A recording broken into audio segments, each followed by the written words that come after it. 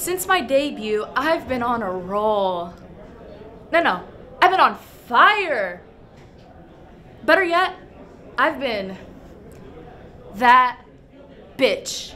Collecting wins after wins, creating moments, running my mouth.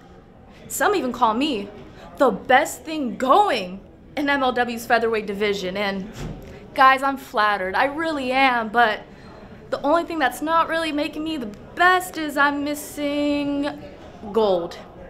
Look, what the hell does a girl have to do to get a championship match around here?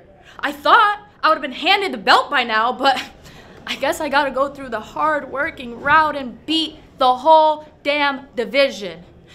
In singles matches, in triple threats, fatal four ways, in my damn dreams, I've beaten them all. Except for one person. That cosplaying karate kid, ugly, bald, badass MLW featherweight champion, Janai Kai. And look, Janai, I've already wasted enough breath calling you out month after month after month and getting no response. Like I said, I've beaten them all except for you.